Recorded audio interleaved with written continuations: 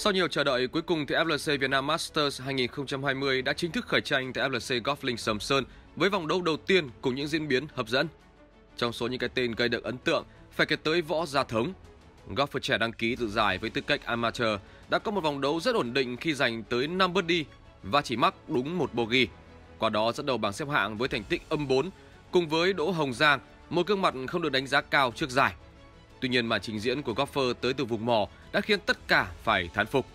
Là người duy nhất có được một vòng đấu bogey free cùng với hai birdie và đặc biệt là điểm eagle giành được ở hố 18, Đỗ Hồng Giang xứng đáng với vị trí T1 giành được sau ngày thi đấu mở màn của FLC Việt Nam Masters.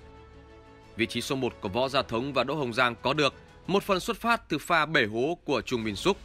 Golfer người Hàn Quốc đã dẫn đầu rất lâu trước khi mắc double bogey thảm họa ở hố số 8. Từ điểm âm 5 và vị thế dẫn đầu, Min Suk đã tụt xuống vị trí T3 cùng điểm âm 3 đầy đáng tiếc. Anh cũng bỏ lỡ luôn cơ hội san bằng kỷ lục về số điểm tốt nhất sau một vòng đấu được PGA Phạm Minh Đức lập năm 2017 với thành tích âm 5. Cùng hàng T3 còn có một golfer Hàn Quốc khác, đó là Park Ji-un. Golfer có biệt danh Jay Park đã giành tới 6 đi nhưng lại mắc tới 3 bogey nên anh chỉ hoàn tất ngày thi đấu của mình với 69 gậy cùng điểm âm 3. Người đánh cùng fly với Jay Park là ứng cử viên cho ngôi vô địch Trương Chí Quân đã có khởi đầu tốt với một birdie và một eagle sau 9 hố đầu tiên.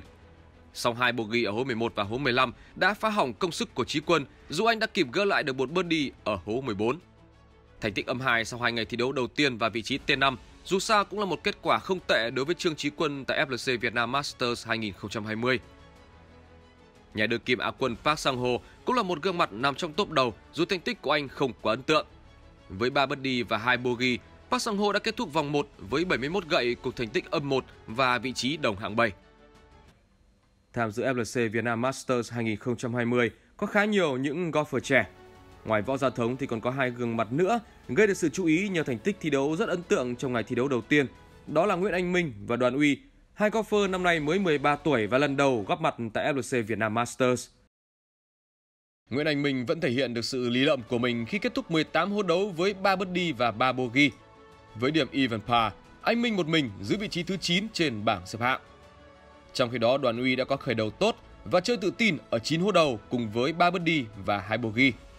Tuy nhiên, 3 điểm bogey liên tiếp ở các hố 11, 12 và 13 đã khiến em chỉ có được điểm dương 1 sau ngày thi đấu đầu tiên cùng vị trí T10.